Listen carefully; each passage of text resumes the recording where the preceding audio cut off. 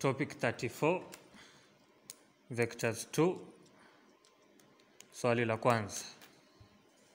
In a parallelogram A, B, C, D, AB is equals to 2A and AD is equals to B. Kwa hivyo sketch utaichora hivi. M is the midpoint of AB.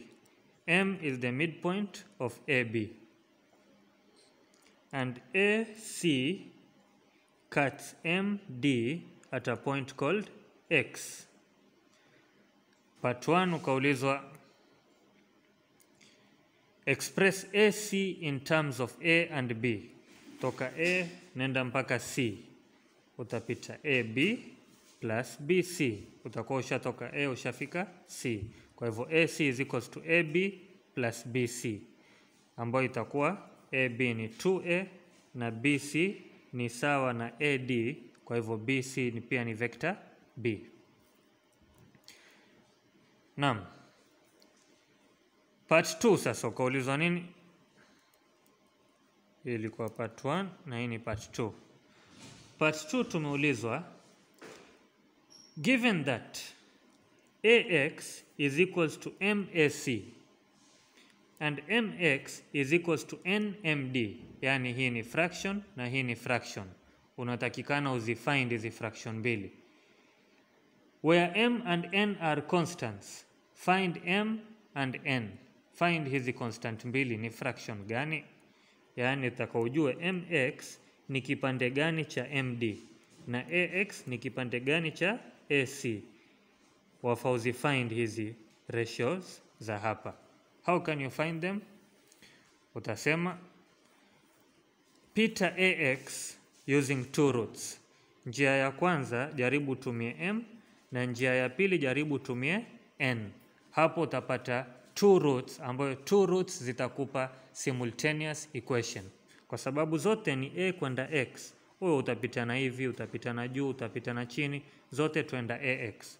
So tujaribu njia ya kwanza ax is equals to m of ac ambayo itakuwa ax is equals to m of ac. Wapi ac tulikuwa tusha calculate ni 2a plus b. Kwa hivyo m times 2a itakuwa 2m vector a na m times b itakuwa m vector b. Tupite ruti ya pili, a paka x naweza kuja am plus mx ambayo am ni vector a na mx is a fraction of md. Where can I find md? Rahisi, rudi hivi, panda juu, takuwa negative a plus b. So nitasema hapo ax is equals to m, am plus mx ambayo itakuwa vector a ndo ile am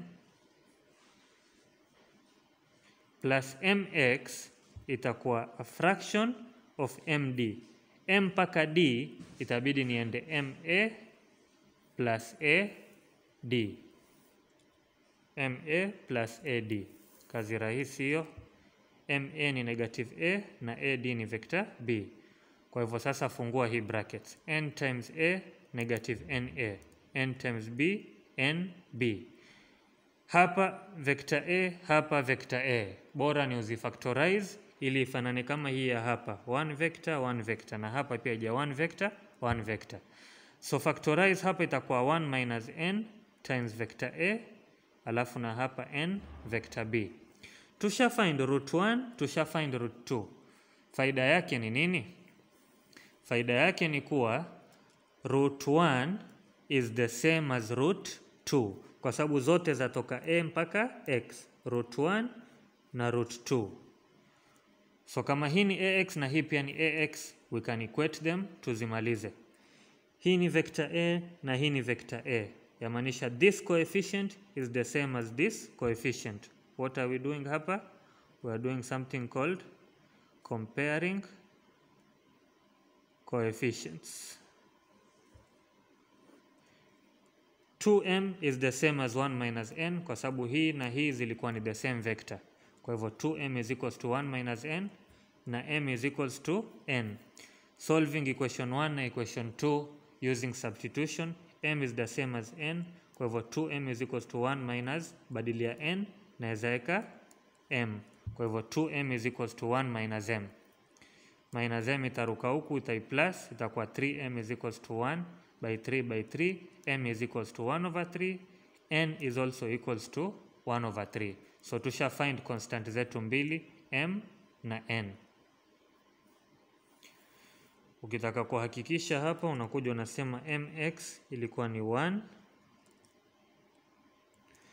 na xd itakuwa ni 2 kwa sababu mx was 1 over 3 of md na huku ni 1 ax ilikuwa 1 over 3 of ac na mx ni 1 over 3 of md. Siku nyingine utaulizwa ratio mx is to xd ama ax is to xc, utaziona hapa 1 is to 2, 1 is to 2 na kadhalika. Hii huwa inakuja 10 marks.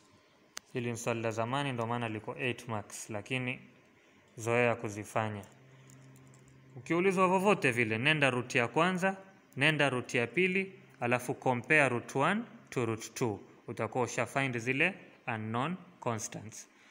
Mimi mara hii nimepita na ax. Siku nyingine wewe badala ya kwenda na ax tumia mx, nenda mx root 1 alafu mx root 2 ili upate kupita na hii leta nyingine ambayo tutaifanya kwenye video nyingine, lakini kwa sasa ushajua hii yafanywa vipi.